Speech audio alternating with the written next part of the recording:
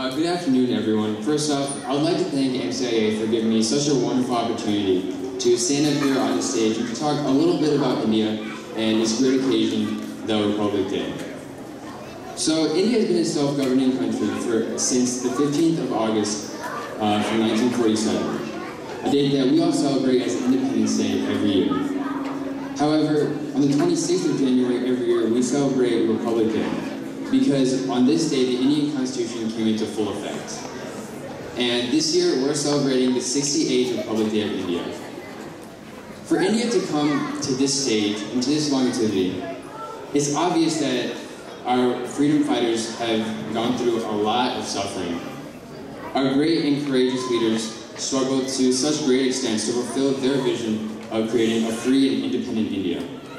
They pursued this vision relentlessly with such determination so that future generations of Indians may not struggle to the extent that they did.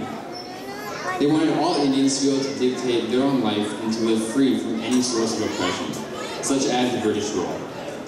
The name of some of our great Indian leaders and freedom fighters are Mahatma Gandhi, Bhagat Singh, Chandrasekhar Azad, and etc. They all fought continuously against the British rule to transform India into the free country that it is today and we can never forget their sacrifices. Without them, there truly is no free India. And on this great occasion, it's our duty to honor them and their accomplishments, for they have sacrificed so much, even their lives, to make India what it is today. Because of them, we're able to live in our country, India, freely without any foreign or outside force. As a whole, we must always remember to acknowledge their amazing and historical feats because without forefathers, without founding people, and without a strong foundation, no country can become successful. And India has definitely gone through great leaps of success from its time of origin to now. And once again, thank you to MCIA for giving me such a wonderful opportunity to speak on the stage and about our beloved country. Thank you. Jay.